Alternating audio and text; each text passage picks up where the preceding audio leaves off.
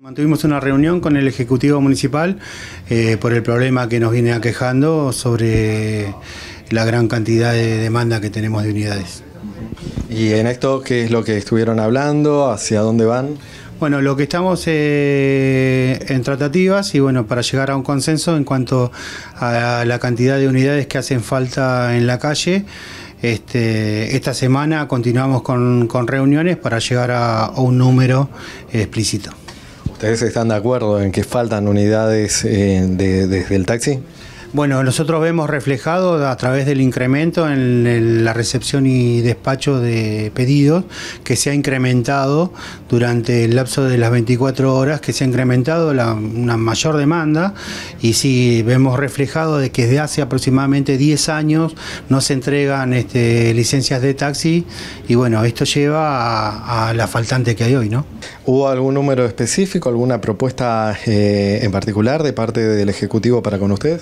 Todavía no, es bueno, estamos este, en tratativas y para llegar a un consenso en cuanto a la cantidad de unidades que al servicio de transporte de taxi se refiere. En las redes sociales, eh, bueno, se volvió a esa polémica que era la misma previa a la pandemia en cuanto a los reclamos de faltantes de unidades eh, por el turismo. ¿Cómo es la situación particular de ustedes? Bien, te cuento, hace aproximadamente unos 10 años que no se entregan licencias de taxis, eh, la ciudad se ha expandido, se ha expandido a casi un 40% desde la última vez que se entregaron. Y bueno, esto hace al incremento del servicio que nosotros estamos requiriendo.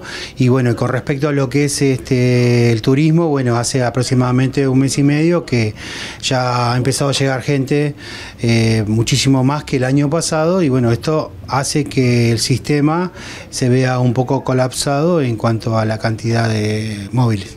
¿Cuál es la demora promedio que están teniendo ahora con respecto bueno, a esta situación del incremento del turismo? Bueno, con respecto a lo que vos me estás consultando, tenemos una demora de unos 15 a 20 minutos efectivamente. O sea, no, no cambia mucho en eso, pero eh, sí está notando que por ahí le es más difícil al vecino conseguir. Bueno, sí, es mucho más difícil al vecino coincidir y bueno, queremos que entienda también la problemática en cuanto a lo que tiene que ver con el tránsito. Los traslados son mucho más lentos que lo que ocurría en años anteriores y te vuelvo a repetir, bueno, la ciudad se ha expandido para los costados y esto hace que los lapsos en que las unidades se encuentran ocupadas sean mucho más largas, ¿no?